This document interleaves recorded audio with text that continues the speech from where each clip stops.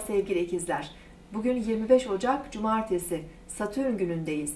Bugün Ay Akrep Burcu'nda ilerliyor. Özellikle günlük hayatınızda size destek veren bazı kişilerle ilgili e, ya da yanınızdaki yardımcılarla ilgili e, sorunlar gündeme gelebilir. Onların hayatındaki bir problem e, doğal olarak size de yansıyabilir. Elinizden geliyorsa ona destek olmaya çalışın.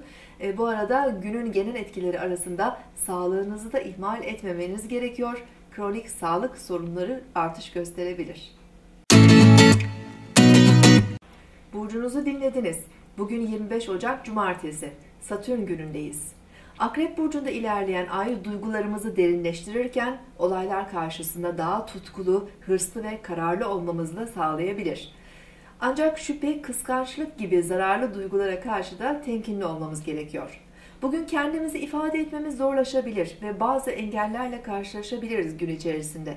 Öğleden sonraki saatlerde Merkür-Satürn karesi kesinleşecek ve Ay Satürn'le kavuşup bu açıyı daha da etkinleştirecek. Özellikle otorite kavramları, e, aile büyükleri, olgun kişiler veya babamızla olan ilişkilerde bazı sorunlar ve e, iletişim konularında engellerle karşılaşabiliriz. E, duygusal olarak üzerimize biraz baskı ve karamsarlık hissetmemiz de mümkün. Bu durum günlük ilişkilerimize ve işlerimize yansıyabilir. Akrep burcundaki ay 15.56'dan itibaren boşlukta olacak. Bu nedenle öğleden sonraki saatlerde önemli girişim ve görüşmelerde bulunmamak daha doğru olacaktır. Yarın tekrar görüşmek üzere. Hoşçakalın.